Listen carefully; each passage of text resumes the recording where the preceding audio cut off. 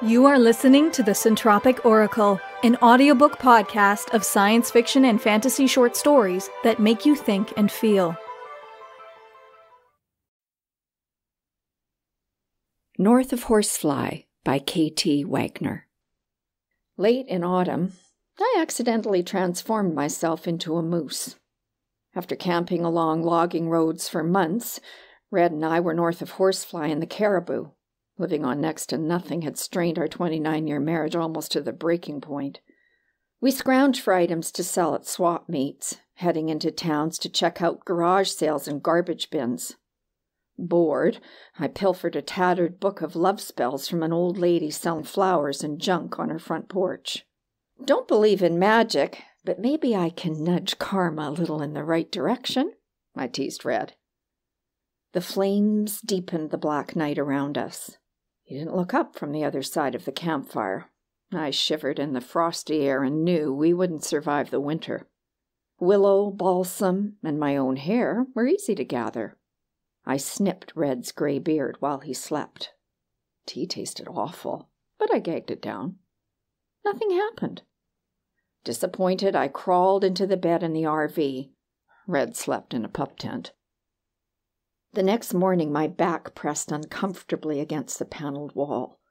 Arms and legs numb, mouth dry as fallen leaves. I rolled over and smacked into the ceiling. Scrambling to my feet, all four of them, I briefly puzzled over the beige paneling turned gray and the red covers, now black. My scream for Red shook the RV.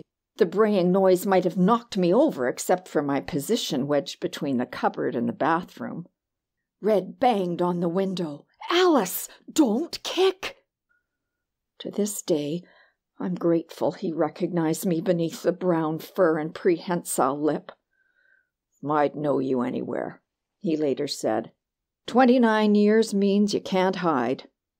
Too big to fit through the door of the RV, I barely held it together. For days, Red brought me armfuls of balsam fir, willow twigs, and birch bark. I chewed and ruminated on life. Red finished up those little chores he'd been putting off around the camper. Early one crisp, sunny morning, he chopped firewood, a soothing, rhythmic sound. A roar interrupted our peace, and something deep in my gut begged me to kick out the sides of the RV and prance into the woods. Focusing on Red, I only lifted my snout and pressed it against the window. My breath fogged the glass. Even so, I could still see the bull moose. It charged straight at the RV, coming for me. Red brandished his axe, tossed his head, and let out a roar of his own. He took up position between me and the challenger. She's mine! My suitor paused, the enormous bell beneath its chin swaying. Its ears flicked back, then straightened. Red snarled. The raised hairs on the neck and shoulders of the bull dropped back into place. It snorted and wandered back into the bush. I wiped a hand across my brow and collapsed onto the floor. The spell had reversed. That evening we held hands and watched the spell book burn in the campfire. We should go south, said Red. Yes, I agreed. Together we headed into the RV.